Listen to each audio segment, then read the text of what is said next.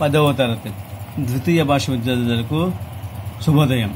మన పాఠం నాలుగు సంజయ్ రాయబారం సగం చెప్పుకున్నాము తరువాయి భాగాన్ని ఇప్పుడు మనం చూద్దాం.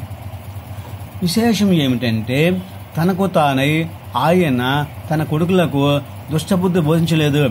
నాయన ధర్మరాజా ఒక విషయం నువ్వు గమనించాం. కౌరవులకి మీ ప్రధానగారు అయినటువంటి ధృతరాష్ట్రుడు తనకు తానుగా ఈ విధంగా చేయండి ఈ విధంగా పాండవులు ఇబ్బంది పెట్టండి వాళ్ళ రాజ్యాల మీద అక్రమంగా తీసుకోండి అని ఎప్పుడు చెప్పలేదు. కానీ లేకపోగా వారి చెడు తలపులు విని విచారిస్తున్నాడు. వాళ్ళు ఏం మాట్లాడుతున్నారో ఏం చేస్తున్నారో వాళ్ళకి అర్థం కావట్లేదు. వాళ్ళకి బుద్ధి జ్ఞానం లేకుండా మాట్లాడుతున్నారు. కానీ ఆయన అన్ని కూడా విని బాధపడుతున్నాడు. అయ్యో ఎందుకు ఇలా మారిపోయారు? ఎందుకు ఇలా దుర్మార్గం ప్రవర్తిస్తున్నారని విన్నాడే కానీ బాధపడ్డాడే కానీ తన భవిష్య మన భవిష్యత్తు ఎలా ఉంటుందని ఇంతవరకు ఎవరు ఎరిగింది లేరు. అది ఎవరికి కూడా తన ఫ్యూచర్ ఎలా ఉంటుందో రేపు ఏం జరగబోతుందో వచ్చి ఆడ ఎలా జరుగుతుంది ఎవరు చెప్పగలరా? ఎవరు చెప్పలేరు. అలాగే నీ వంటి సత్పురుషుడు క్లేశాలు పాడబడతాడని ఎవరు ఊహించారు. అది ఎవరికి తెలియదు భవిష్యత్తు ఏం జరగబోతుందో. అలాగే మీలాంటి సత్పురుషుడు అంటే మీలాంటి మంచివాళ్ళు క్లేశాలు అంటే దుఃఖ కష్టాలు అనమాట క్లేశాలు అంటే కష్ట పాండవులు ఇంత ఇంత గొప్ప వాళ్ళైన వీళ్ళు ఇటువంటి కష్టాలు పడతారని ఎవరైనా ఊహిస్తారా? ఊహించారా? ఎవరు ఊహించలేదు. అంచేతను ఎవరు ఊహించారు? ఎవరు ఊహించలేదు. కానీ మీరందరూ ఇంద్ర సమాన పరాక్రములు ఇంద్ర ఇంద్ర సమపరాక్రమం అంటే మీరు ఇంద్రుడు వంటి వారు. యుద్ధం చేయడంలో మీకంటే మీకు మీరే సటే. ఇంద్రాది దేవతలు కూడా వచ్చినా కూడా మీ ముందు ఎందుకు పనికిరారు? యుద్ధంలో పరాజయం పొందుతారు. అంతటి గొప్ప సమర్థులు మీరు.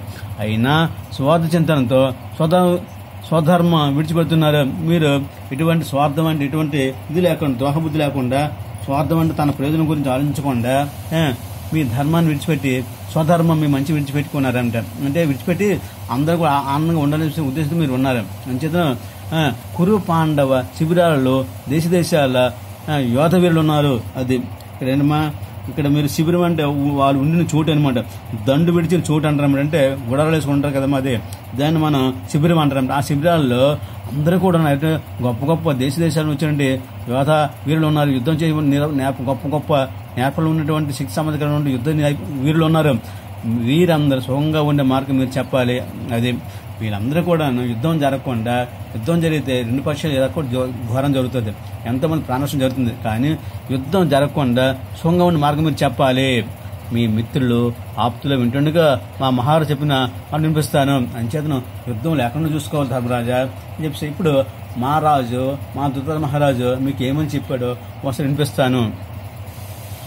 అప్పుడు నువ్వు చెప్పాలన్నాడు. అప్పుడు మీ మిత్రులు ఆప్తులు ఉంటుండగా మా మహారాజు చెప్పిన మాట వినిపిస్తాను అన్నాడంట. అప్పుడు ధర్మరాజు ఏమంటాడు చూడండి. సంజయ అందరూ ఇక్కడే ఉన్నారు. నిజమే మా మిత్రులు స్నేహితులు అందరూ ఇక్కడే ఉన్నారు. వాసుదేవుడు కూడా ఉన్నాడు శ్రీకృష్ణుడు కూడా ఇక్కడే ఉన్నాడు.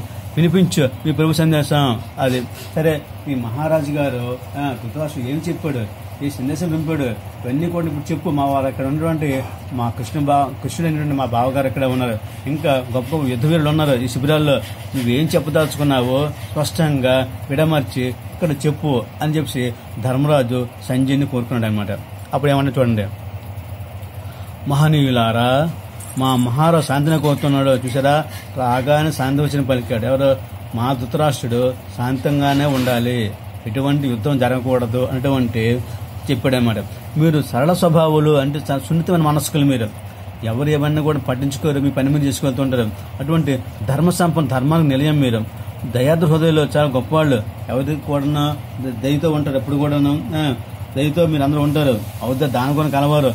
ఔదార్యము లజ్జము భూషణాలు మీకు ఔదార్యం మంచి మనస్తత్వం ఉంది. మీకు ఎదుటి వాళ్ళు సాయపడాలని తత్వం ఉంది. లజ్జ సిగ్గులైనటువంటి వాళ్ళు అంటే సిగ్గు కూడా పడుతూ ఉంటారు కొన్ని సందర్భాల్లో. అవే మీ భూషణాలు అవే మీకు అలంకారాలు. ఎవరిని కూడా ఏమనరు. ఎప్పుడు కష్టం ఎదురైన కూడా కోపం పడరు. ఎవరేమైనా తిరిగి విమర్శించిన వాళ్ళు క్రూరత్వాన్ని దరిచేరినవారు మీరు. క్రోధాన్ని కోపాన్ని దగ్గర రానివారు. ఏనాడు మీరు చుడిక చేయలేదు. మీరు తప్పని చేయలేదు. తప్పుడు మాట ఆడలేదు అని చేతను అటువంటి వాళ్ళు పాండవులు. ఆ పాపానికి అవకా- అవకాశం కలిగించి నరకానికి బాటలు వేస్తూ సర్వనాశనానికి దారి చేసే యుద్ధాన్ని ప్రాజ్ఞుడు ఎవడు కోరాడు? అది అంటే యుద్ధం జరిగితే ఏమవుతుంది? పాపానికి పాపం ఎక్కువ ప్రజరిల్లిపోతుంది ధర్మాధర్మ నశించిపోతుంది. నరకానికి స్వర్గానికి నరకానికి పోతారు అందరూ కూడా యుద్ధం జరి- చనిపోయిన వాళ్ళు నరకానికి పోతుంటారు. అంతే సర్వనాశనం దారితీసే అంతే సర్వనాశనం కూడా యుద్ధం పోతుంది. చూడండి యుద్ధం వస్తే ధన మాన ప్రాణం పోతుంటారు మన సైనికులు చచ్చిపోతారు అటు సైనికులు చచ్చిపోతారు. ధనం కోల్పోతాము ప్రాణనష్టం కలుగుతుంది ఎంతో మంది భర్తలు చనిపోయి భార్యలుగా ఉండి విధవులుగా ఉండిపోతుంటారు పుత్రులు లేకుండా తల్లిదండ్రులు తల్లిదండ్రులు తండ్రులు చనిపోతే తండ్రులు లేని పుత్రులు ఉంటారు పిల్లలు ఉంటారు. వాళ్ళ భావంతో ఉంటుంది అంతే యుద్ధం జరిగింది ఇంత వినాశం జరుగుతుంటుంది ఇరు వర్గాలు కూడాను అని వాళ్ళంతా కూడా మా రాజు కోరుకుని చెప్పి ఈయన పక్షపాత ధోరణంతో మాట్లాడుతున్నాడు సంజయుడు. అంటే ఒకవైపు యుద్ధం వద్దంటూనే రాజ్యం మాత్రం మాకు ఉండాలి అని చెప్పి కోరుకుని ఉండే భావాన్ని తెలియజేస్తుంది అనమాట అంచేతను యుద్ధానికి యుద్ధం ఎవడో కోరుకోడు. ప్రాజెక్ట్ పండితులు గొప్పవాడు ఎవరు కూడా యుద్ధం కోరుకోరు. ఏ దేశంలో కూడా యుద్ధం వద్దు శాంతం వద్దు అంటారు. అంచేతను ఎవరు తెలివైన వాళ్ళు ఎవరు కోరుకోరు. సజ్జనులకు కీర్తి పొందిన మీరు యుద్ధానికి సుముఖంగా ఉంటారని నేను అనుకోను. పాండవులు గొప్పవాళ్ళు. ఇన్ని కష్టాలు కూడా ధర్మాన్ని కాపాడుతున్న బాధ్యత ఉన్నారు. అధర్మానికి ఎప్పుడు పాటుపడలేదు కాబట్టి పాండవులకి ఇబ్బంది కలిగిన యుద్ధం కోరుకోరు అని మా రాజు అనేటువంటి ధృతరాష్ట్రుడు కోరుకుంటున్నాడు. అంటే చూడండి మనస్తత్వం ఎలా ఉండదు. దేవేంద్రుడు వచ్చిన మిమ్మల్ని ఎదిరించి నిలబడలేదు. ఒకవేళ యుద్ధం జరిగితే భగవద్ దేవేంద్రుడు చెప్పుకున్న కదా మాట్లాడినాం ఇంద్రాది దేవతలు వచ్చినా కూడా పాండవుల ముందు నిలబడలేరు. యుద్ధం చేయలేరు. అటు శక్తి సామర్థ్యులు ఉన్న వాళ్ళు పాండవులు అని సంజయుడు చెప్తూ ఉన్నాడు అనమాట ఇంకేం చెప్పడం దుర్యోధన దగ్గర అపారమైన సైన్యం ఉంది. అది కౌరవుల్లో చాలా మంది సామ్రా కౌరవ సామ్రాజ్యంలో ఎంతమంది యుద్ధవీరులు ఉన్నారు? శా- సైన్యాధిపతులు ఉన్నారు. సైన్యం ఉంది. వారిని జయించిన సామాన్యం కాదు. చూసారా మళ్ళీ ఇక్కడ ఏమంటుండో కౌరవులు తక్కువ అంచనా వేయొద్దు. వాళ్ళకు కూడా యుద్ధ నిపుణులు ఉన్నారు. చాలా గొప్ప గొప్ప వాళ్ళు ఉన్నారు. కానీ వాళ్ళని ఎవరో కూడా జయించలేరు. అయితే జయాపజయాలను ఎవరు ముందు నిర్ణయించలేరు జయము అపజయము అంటే విజయము అపజ పరాజయము. ఎవడు కూడా జయించలేడు.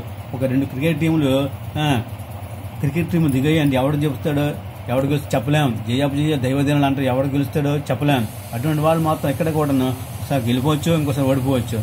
ఇలాగ కూడాను కవులు కూడా పరాజయం పొందుతారని కూడా అనుకోవద్దు. అంచేతను ఎవరు జయాపజయ ముందు నిర్ణయించలే ఎవరు స- చెప్పలేరు యుద్ధం దిగేటప్పుడు. అలాగే వయోవృద్ధులు దప్పుదల వారు లోకజ్ఞుడు వాసుదేవులు ఇక్కడ ఉండడం చాలా సంతోషం. ఎలా మాట్లాడుతూ మీ పక్షాన ఇక్కడ వయోవృద్ధులు అంటే చాలా ముసలివాళ్ళు అనేటువంటి ద్రౌపద మహారాజు గారు. వాసుదేవుడిని శ్రీకృష్ణుడు లోకజ్ఞుడు అంటే భగవంతుడు కాబట్టి ఆయన లోకం సర్వజ్ఞ ఆయన అన్ని తెలిసి ఏం జరుగుతుందో. ఇక్కడ ఉన్న వారి ఉభయులు నిశ్చితంగా ఆలోచించి ఈ ఉభయ వంశ శ్రేష్ఠకు తగిన రీతిలో వీరిని నడుపుతారని నమ్ముతాను. వీరిద్దరు కూడా గొప్ప వాళ్ళు ఉన్నారు. భగవంతుడైన శ్రీకృష్ణ మహారాజు ఇక్కడ ఉన్నాడు. ఇంకో ద్రౌపద పెద్ద- పెద్దవాడైనటువంటి ద్రౌపద మహారాజు ఉన్నారు.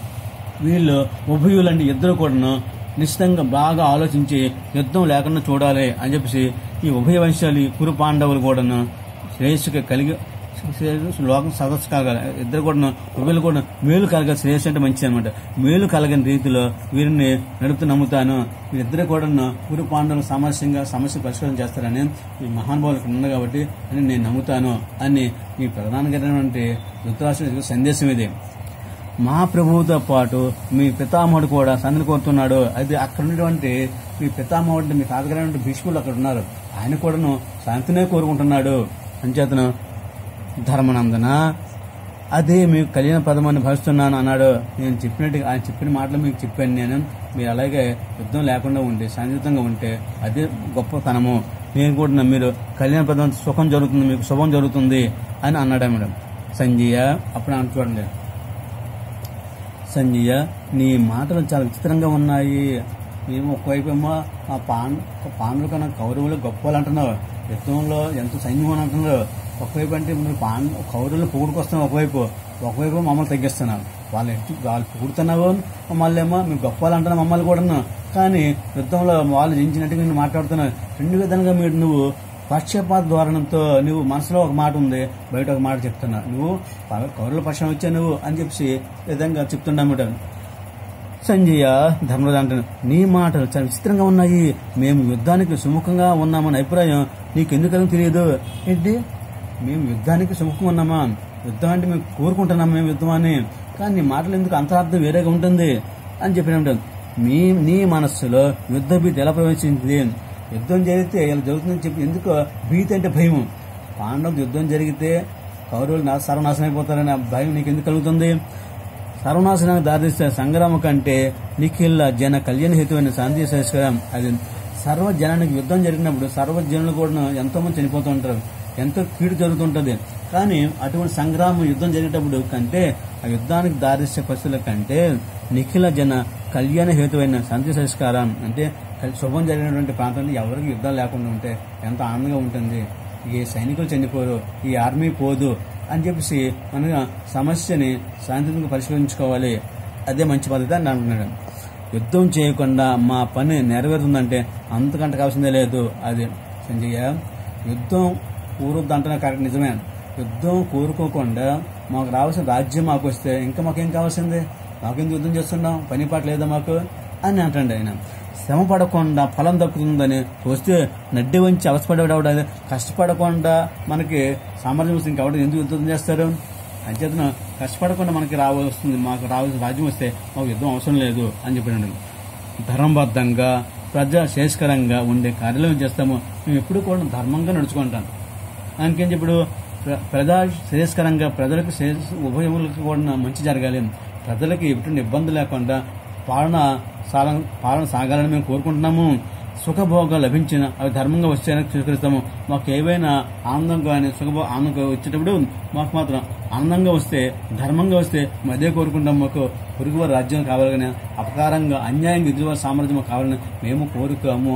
ధర్మంగా మా రాజ్యం మాకు వస్తే మాకు యుద్ధం చేసిన పని లేదు అని పాండవులైన ధర్మరాజు ఆయనకి కొలువు కోట ఇక్కడ ఉన్నటువంటి సంజయుడికి చెబుతూ ఉన్నాడు అనమాట